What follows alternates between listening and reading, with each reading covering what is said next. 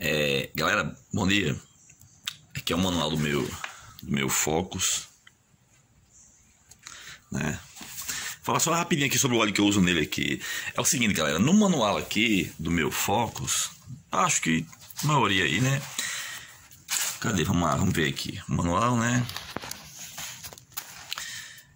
Ah, aqui. Vamos lá.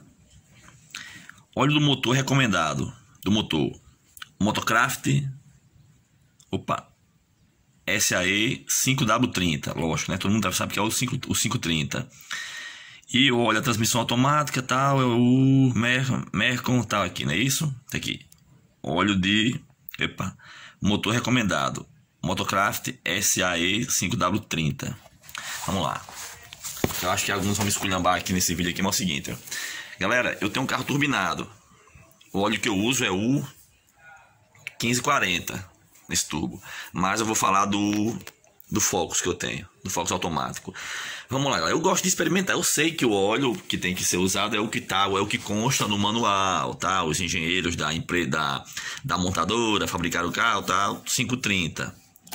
Pronto. Eu ainda não usei o 530 nesse meu Focus.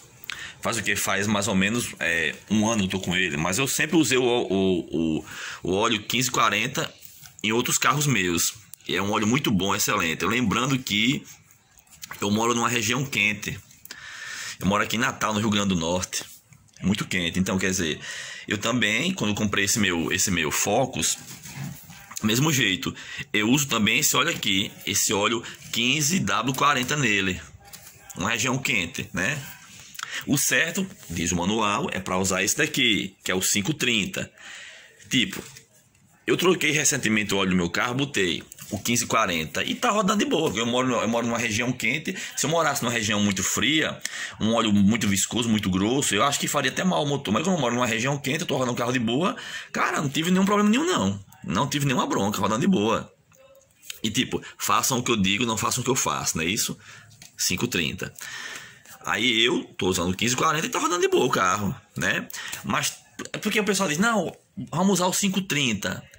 Como que o 530 é um óleo barato, né? Caro que sua moléstia, não é isso?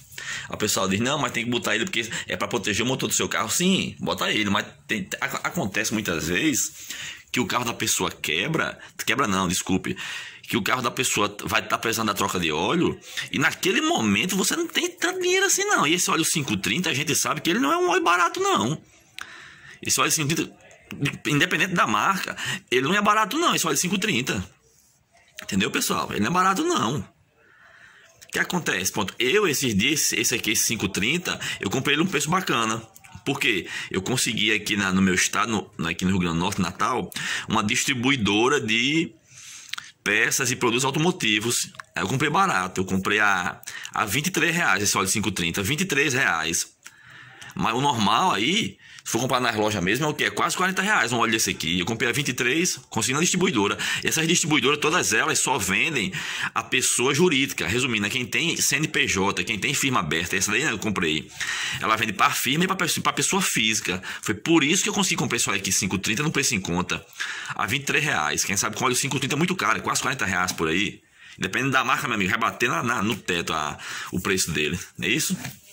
Pois bem, estou usando o 1540 o recomendado para a linha Ford Focus, o meu é um 2012, é o 530, mas eu estou usando o 1540.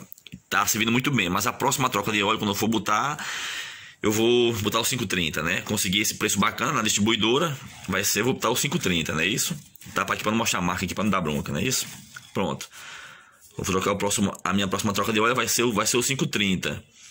E depois, eu penso também assim, depois que eu trocar, botar esse óleo 530, a próxima troca de óleo que eu for fazer depois desse 530, depois que eu usar esse daqui, com o tempo eu for trocar óleo novo, eu não usarei mais esses carro, esses óleos para carro, vou usar óleo de moto, para motor de moto, quem sabe. Que o óleo de moto ele é mais, mais fino, então quer dizer, não se pode colocar óleo de carro em moto, mas o contrário pode. Óleo de moto pode sim botar em carro, porque é um óleo muito fino, e é isso que eu vou fazer. Faz essa experiência no meu carro. Como eu falei, não façam, façam o que eu digo, não façam o que eu faço, entendeu? 530.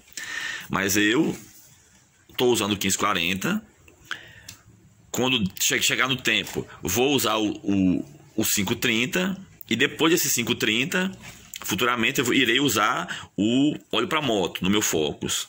Vai ficar, vai ficar show, muito bacana. E aqui é os aditivos que eu coloco nele. O que acontece? Tem gente que usa só aditivo motor tal. Tem gente que usa só água desmineral purificada, não é isso? Tá aqui a água. Eu não. Eu uso os dois. Eu pego, eu misturo. Aqui não é, não é água torneira, viu, gente? É a água tá aqui, ó, água purificada, entendeu?